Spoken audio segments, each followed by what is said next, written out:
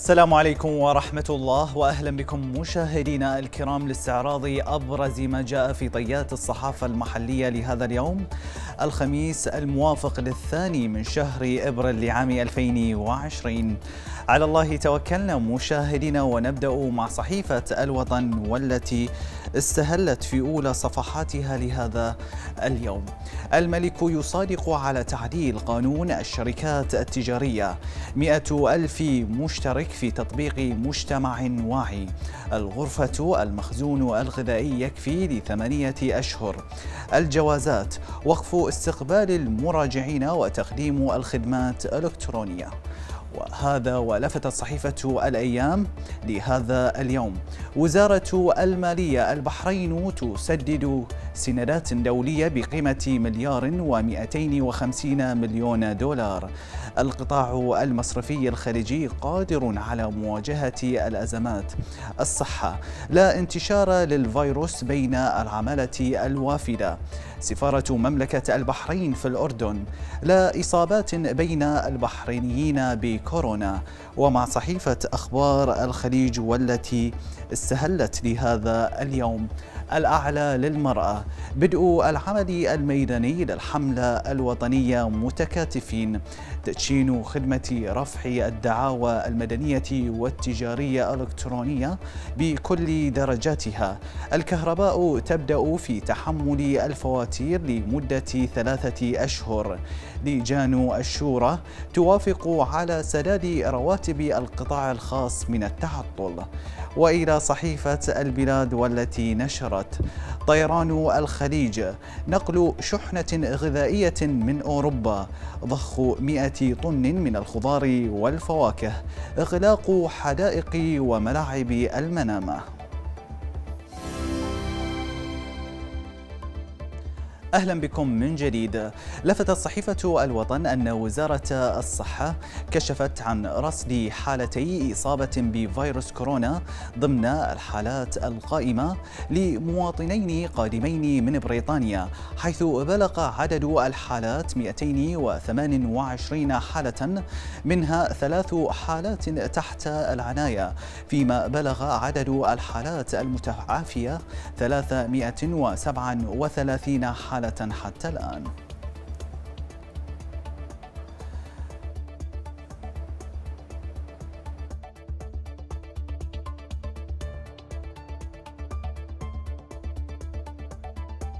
بمناسبة يوم الصحة العالمي والذي يحمل هذا العام شعار دعم التمريض والقبالة نشر صحيفة الوطن أن فائق الصالح وزيرة الصحة أكدت أن الإسهامات البارزة التي يقوم بها الطاقم التمريضي خلال فترة جائحة فيروس كورونا هي جهود تستحق الشكر والتقدير.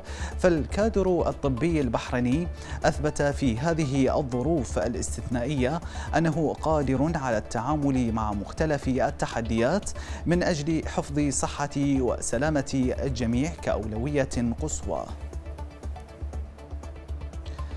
نشرت صحيفة الأيام أن رئيس جامعة البحرين الأستاذ الدكتور رياض حمزة قال إن مجلس الجامعة قرر تقييم الطلبة خلال الفصل الدراسي الثاني بوسائل تقييم تقوم على الوسائل المتبعة عالميا في نظام التعليم الإلكتروني. ولن يحتسب الفصل الدراسي الثاني الحالي ضمن الإنذار الأكاديمي. وبالنسبة لطلبة الدراسات العليا فسيتم تقييمهم وفقا لمجمل أعمالهم خلال الفصل الدراسي. لفتت صحيفة الأيام أن وزارة الصحة أفادت بأن الحالات السبع والأربعين القائمة والتي أعلن عنها هي لعمال وافدين كانوا تحت الحجر الصحي الاحترازي بمقر سكنهم بمنطقة سلمباد حيث تم نقلهم إلى مركز العزل والعلاج في سترة مؤكدة عدم انتشار هذا الفيروس بين العمالة الوافدة كما يتم الترويج له وتهيب بالجميع بضرورة استقاء المعلومات من المصادر الرسمية. الدنيا بخير طال عمرك. عنوان مقال للكاتب فيصل الشيخ في صحيفة الوطن فإلى هذا المقال. في أحلك الظروف التي مرت على بلدنا لم نشاهد الملك حمد بن عيسى إلا وهو واثق وهادئ وحكيم في أفعاله وأقواله. شاهدناه دائما شادا من عزيمة مواطنيه.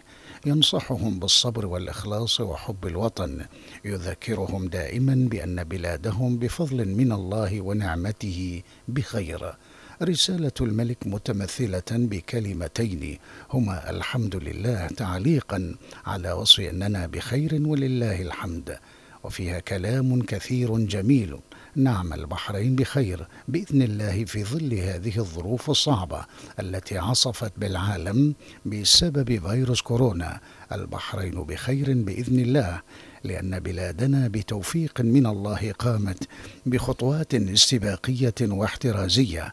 سعت فيها للحفاظ على الوطن ومواطنيه والمقيمين فيه وهي بخير بإذن الله لأننا نتذكر المرات التي خرج علينا قائدنا الملك حمد بن عيسى بوجهه المبتسم وشخصيته المحبوبة ليرسل لنا رسالة إنسان واثق بأن هذا الوطن سيظل بخير وأن جهود المخلصين المبذوله جميعهم ستضمن بعون الله أن تكون بخير.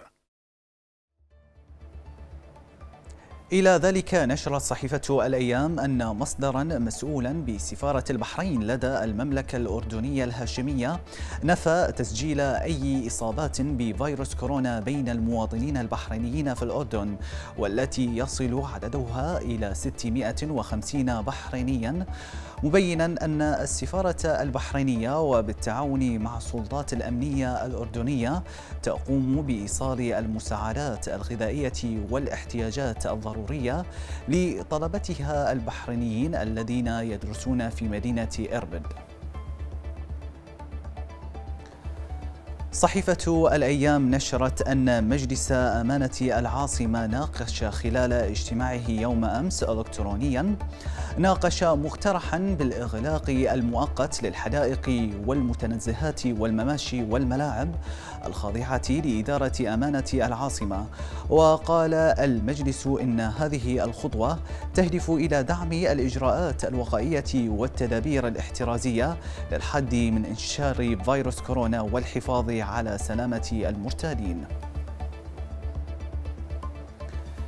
تماشيا مع الإجراءات الاحترازية والتدابير الوقائية للحد من انتشار فيروس كورونا لفتت صحيفة الأيام أن إدارة مجمع السلمانية الطبي أعلنت عن تدشين مركز الاتصال لمواعيد العيادات الخارجية.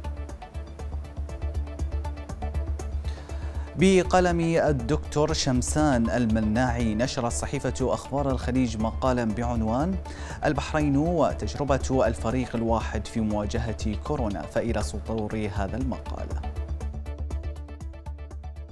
كان للأزمة الوبائية المتمثلة في فيروس كورونا جوانبها الإيجابية في مملكة البحرين.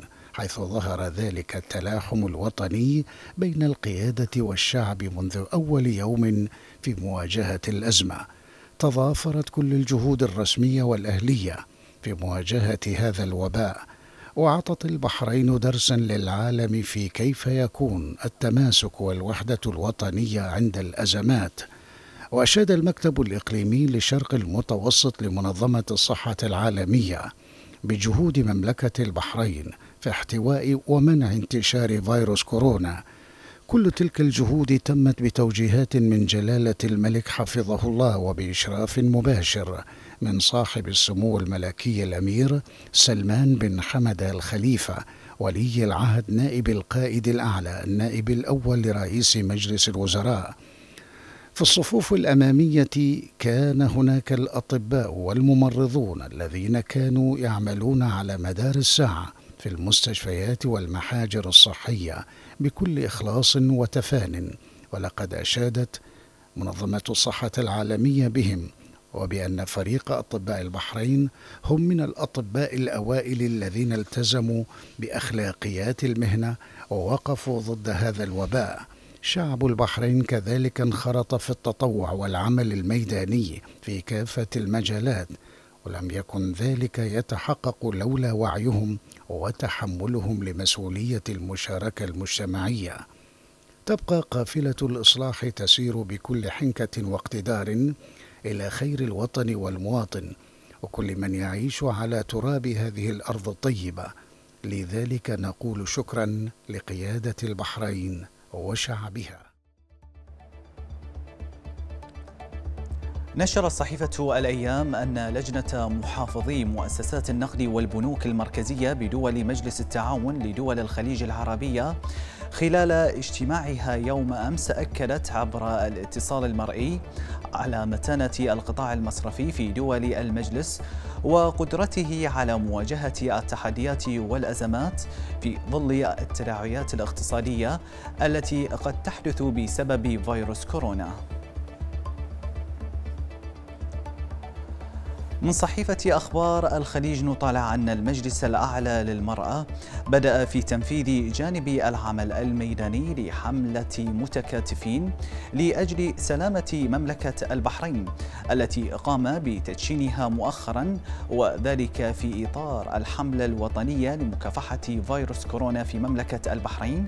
وتتضمن هذه المرحلة العمل على توفير وإيصال المستلزمات الاستهلاكية والصحية الضرورية للأسر ومساندة أسر الكوادر الطبية العاملة في الصفوف الأمامية.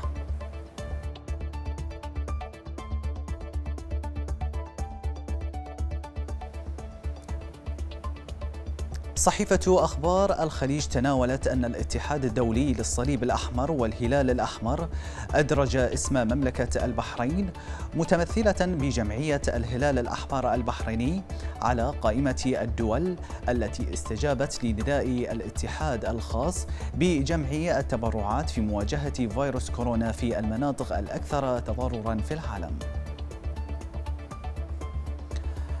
لفتت صحيفة أخبار الخليج أن إدارة مكافحة جرائم الفساد دعت إلى إرسال أي بلاغ عبر البريد الخاص بالإدارة أو من خلال الاتصال على الخط الساخن لها وذلك في إطار الالتزام بالإجراءات الاحترازية للحد من انتشار فيروس كورونا. نشرت صحيفة أخبار الخليج مقالا بعنوان الإجرام الأعلامي في وقت الأزمة. للكاتب السيد زهرة فإلى سطور هذا المقال. نلاحظ أنه في كل المؤتمرات الصحفية التي تعقدها اللجنة الوطنية للمواجهة يحذر المسؤولون من إساءة استخدام مواقع التواصل ومن نشر الإشاعات ويخصصون وقتا للرد على المعلومات الكاذبة. الخبراء في العالم كله يجمعون هذه الأيام على أن استقاء المعلومات الموثوقه الصحيحه ومن مصادرها الرسمية يعد أكبر العوامل التي تطمئن الناس وتحميهم وتدفعهم إلى الالتزام بالتوجيهات والإجراءات الاحترازية المطلوبة التي تضمن سلامتهم. بالتالي فإن مروجي الإشاعات والمعلومات الكاذبة المضللة. هؤلاء يروعون الناس وقد يدفعونهم إلى سلوكيات تعرض حياتهم فعليا للخطر في الأوقات العادية. لكن في أوقات الأزمات مثل ما هو الوقت الحالي فإن جرائمهم تصبح مروعة وخطرا يهدد الأمن الوطني بكل معنى الكلمة. ولهذا وجدنا أن كثيرا من دول العالم في الأزمة الحالية فرضت عقوبات استثنائية مشددة جدا على كل من يروج إشاعات أو معلومات مضللة. كما أن للمواطنين دورا في غاية الأهمية هنا المفروض أن ينبذوا هؤلاء المجرمين وأن يحرصوا على الاعتماد على المعلومات التي تعلنها أجهزة الدولة الرسمية. علمت صحيفة الوطن أن عدد المشتركين في تطبيق مجتمع واع الذي جاء من الحكومة الإلكترونية ضمن خطة مواجهة فيروس كورونا فاق المئة ألف مشترك. نطالع من صحيفة الوطن أن وزارة المواصلات والاتصالات أكدت أن ميناء خليفة بن سلمان يعمل مع كافة الشركات لضمان التسليم السريع للحاويات والشحنات لضمان توفير مخزون غذائي كاف لأكثر من ستة أشهر.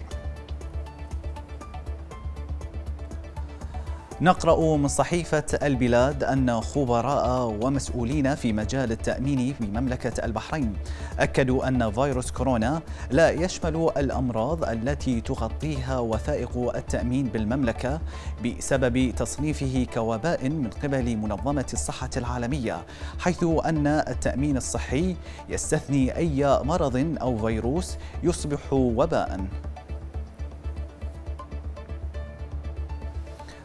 ومن الصفحة الاقتصادية نطالع أن مصرف البحرين المركزي قرر إعفاء البنوك والشركات من إعلان نتائجها المالية للربع الأول من العام الجاري سعيا لتخفيف الالتزامات عليهم بسبب فيروس كورونا.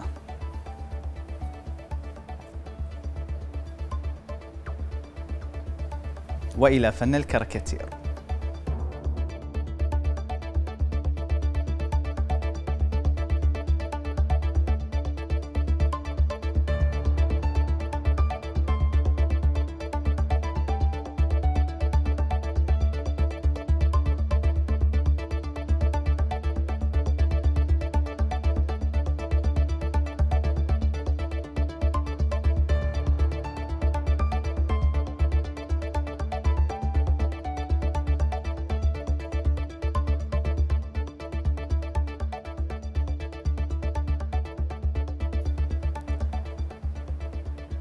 وفي ختام برنامج صحافتكم لهذا الأسبوع نذكر ونقول ابقوا في بيوتكم خلكم في البيت.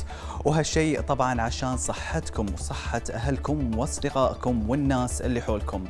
ربي حفظكم ومع السلامة.